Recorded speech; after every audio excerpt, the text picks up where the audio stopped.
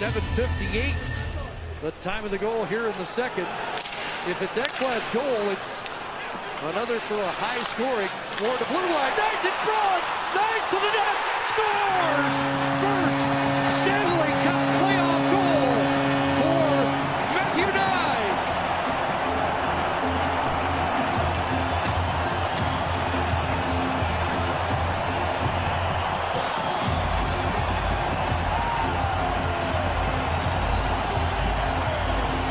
You can see he wore that second Florida goal. 11 seconds later, he makes him in. And what a comeback. I mean, what a great moment for a young player. You, you saw his face, you saw the disappointment, but you see the talent.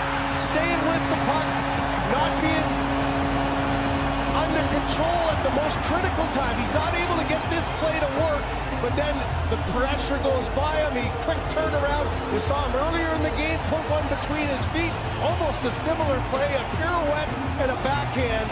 And man, you talk about making amends. There's the all-important first playoff goal